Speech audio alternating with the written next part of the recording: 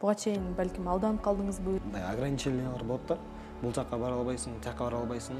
Мен актердук жактан эмес музыкалык жактан көчүгүм келет азыр.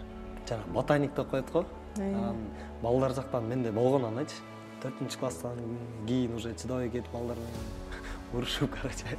По приколу баргандым да болуп болуп экен депчи көрөйүн депчи актер болоюн деген дагы ниеттерим ойлорум да жок болчу негизи кичинекей кезимде жарамазан айтып вообще бир обон кылып чыгарып балдар менен айтып жүрчүмүн ошол күнү окуп алып жаман ыйлагам да. Мурас сериалында мисалы акча каражат жагын сүйлөшөлү канча гонорар төлөп берди